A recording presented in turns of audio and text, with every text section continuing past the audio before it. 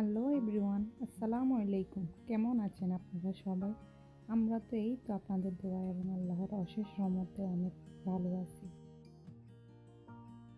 আজকে আপনাদের মাঝে শেয়ার করতে চলেছি বাচ্চাদের জন্য অনেক হেলদিকর ভেজিটেবল পাস্তা স্যুপ প্লিজ আপনারা আমাদের সাথে থাকবেন, পুরোটো দেখতে থাকুন। এখানে যা যা লাগবে। এক চামচ গাজর, এক চামচ জুটিনা এক চামচ পেঁয়াজ হাফ চামচ পেঁয়াজ বাটা, এক চামচ টমেটো, হাফ চামচ আদা রসুন পেস্ট, একটি ফেটানো ডিম, দেড় চামচ পাস্তা। এখানে আমি এক চামচ কনফার পানিতে গুলো রেখেছি আর দেড় চামচ তেল।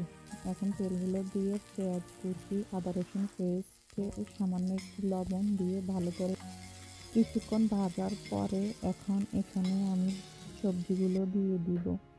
সবজিগুলো দিয়ে একটু কষানোর পরে দেড় কাপ পানি এখানে যোগ করব।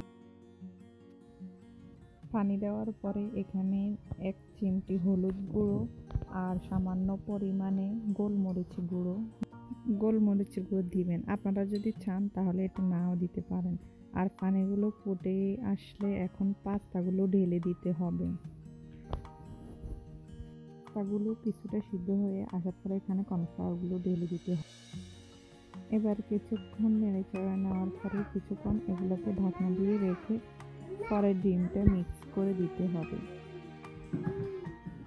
এখন এক চামচ টমেটো সস দিয়ে নামিয়ে ফেলতে হবে। ভীষণ মজাদার এবং হেলদি ভেজিটেবল স্যুপ রেডি যেসব বাচ্চারা খিচুড়ি পছন্দ করে না, তাদেরকে যদি এভাবে আপনারা পাস্তা রান্না করে ট্রাই করেন তাহলে ভীষণ উপকৃত হবেন, তারা অনেক পছন্দ করবে। যদি আমাদের রেসিপিটি ভালো লাগে থাকে তাহলে লাইক শেয়ার কমেন্ট সাবস্ক্রাইব করতে ভুলবেন না। আল্লাহ হাফেজ, ভালো